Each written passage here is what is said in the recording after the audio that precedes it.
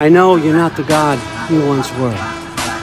Now is your chance to prove it. Turn my son. Or you made me god I once was.